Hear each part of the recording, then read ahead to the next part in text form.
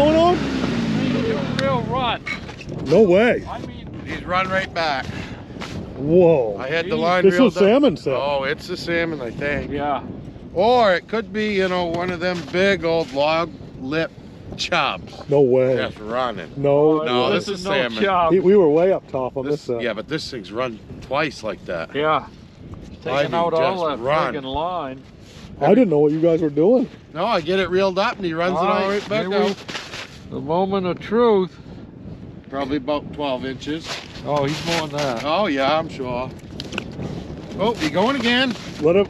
Oh, I got it. I'm not, you know, let him run.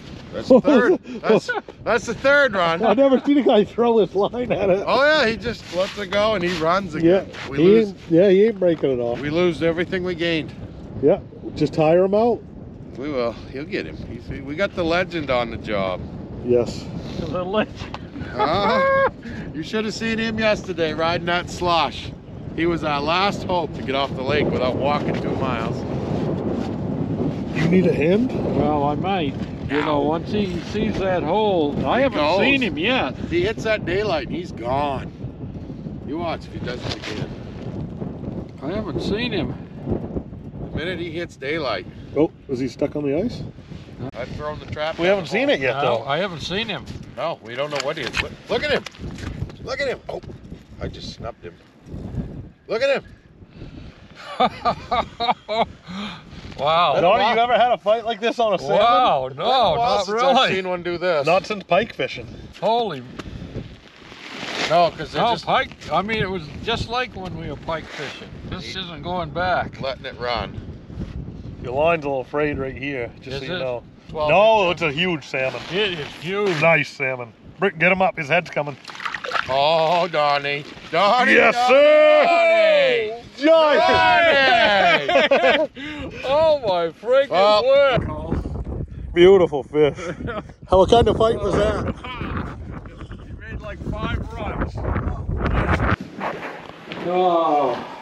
Whoa. Well, here we are in my kitchen. Yesterday I filleted out some landlocked salmon. Last night I marinated it. What I did, I added a little pickling salt, brown sugar, and maple syrup. We wanted kind of a sweet tasting uh, fish. So I've let it sit all night and, and now it's about uh, two o'clock in the next day and so we're about to put it on the smoker. I put in a couple, three pieces of cusk just to try it, see how that, how that's gonna work out. Alright, I'll take this out by the smoker. I preheated, or it's preheating right now. Uh,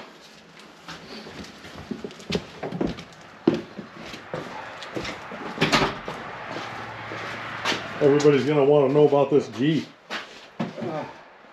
What year's that Jeep?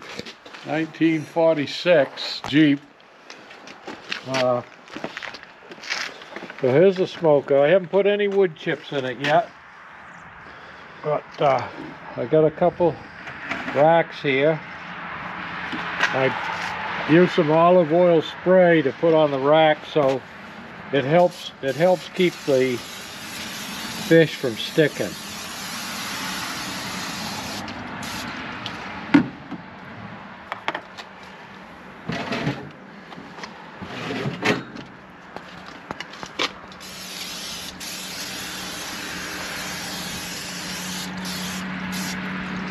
I've also put a pan of water in here. I, I kind of put water in there to give it a little moisture as it's smoking.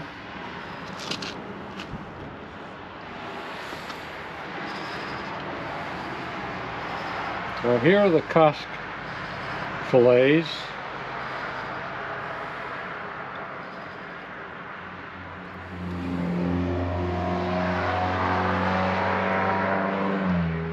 these are these are some small salmon, and we believe me, we didn't catch them illegally. We caught them in a lake where they want the salmon taken out. So I put the skin side down, which helps it from, some sticking to the rack.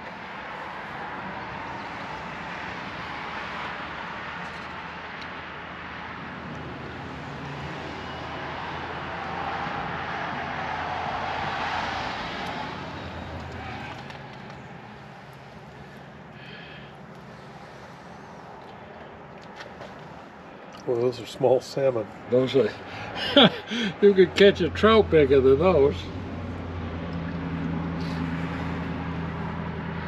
All right, there's one rack.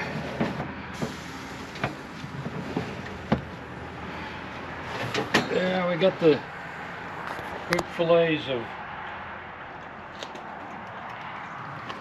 Is that the big one? this is the big one.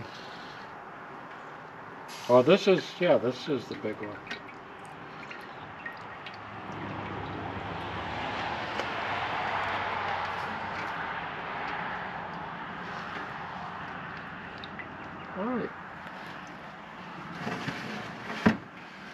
We'll let it close it up and let it catch up on the temperature a little bit.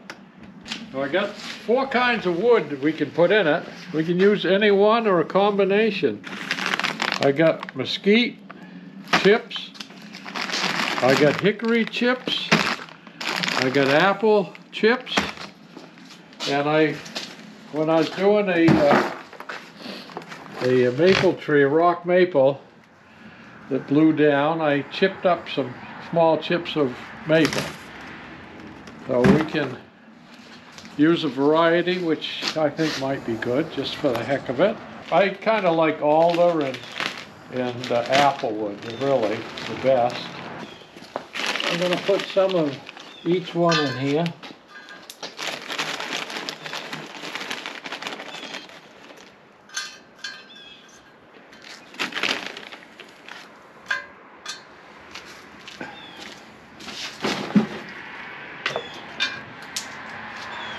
Right.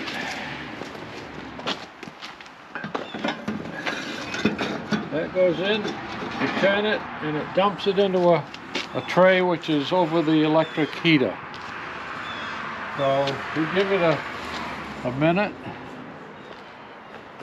And the heat's up to one, about 140. I like to smoke about two or two to 225 for about an hour. Then I check it and, uh, you know, I'll check it periodically.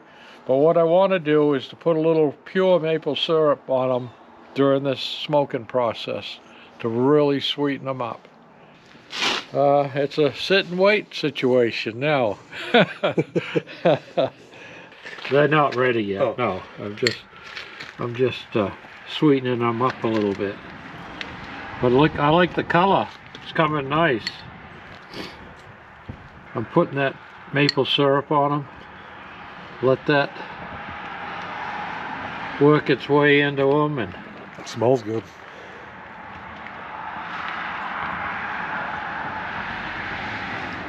really have to be cool to taste Oh, really? best, I Okay. think. We'll just see what it's. Oh. Oh, good color.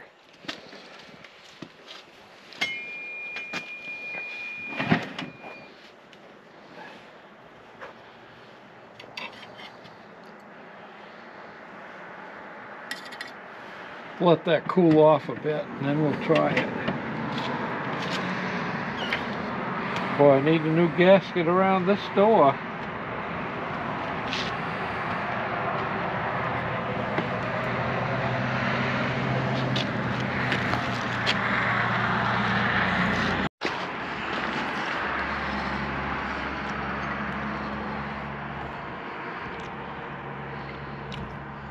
Seems like these thin ones are done. Look out for pellets.